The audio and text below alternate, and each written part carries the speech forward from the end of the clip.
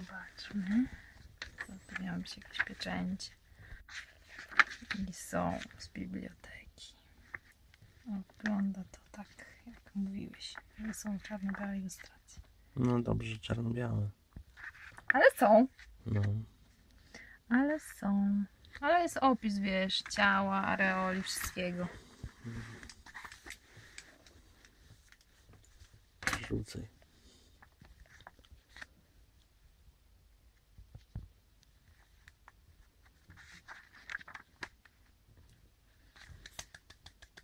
Mhm.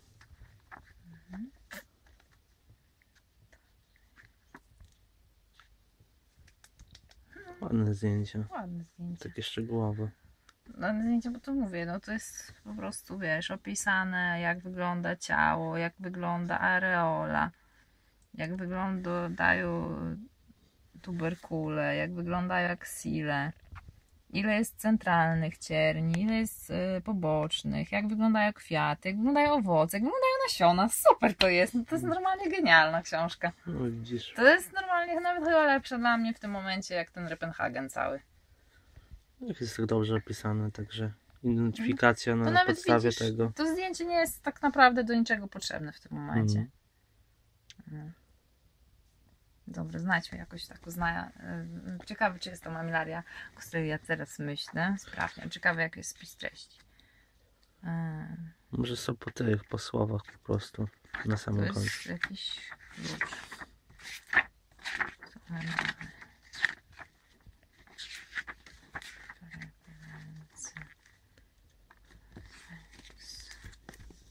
A, no patrz panie, bo to ze sklepu było 8 tych funtów całych.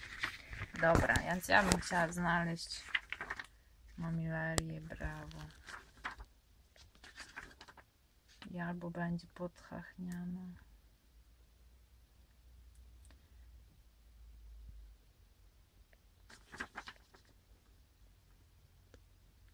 Searching, searching. Mm. Jest, y, są, są inne, więc może być pod brawo po prostu. Mogła być w międzyczasie dołączona i jest. I to będzie co? 112.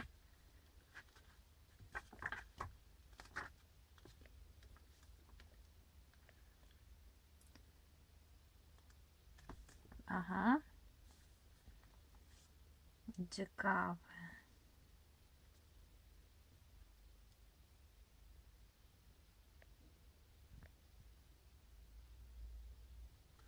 A i jeszcze, gdzie oryginalnie e, rośnie Mhm.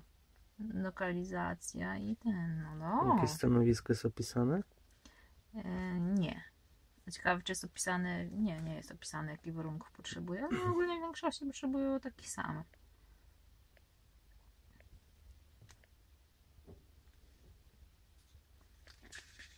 Mhm.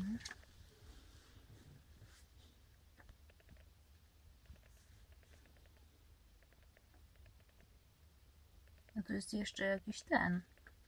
Ciekawe za kim to jest, bo tu jest za kimś normalnie z łaciny, jak dobrze się orientuję.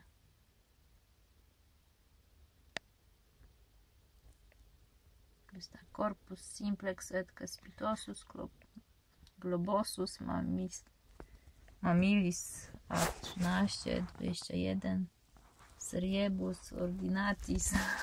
No to ciekawe to za kim jest podawane.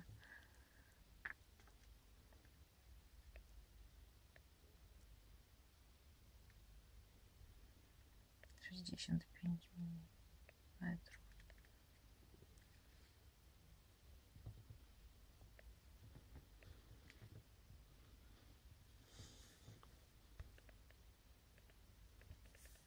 Ojej.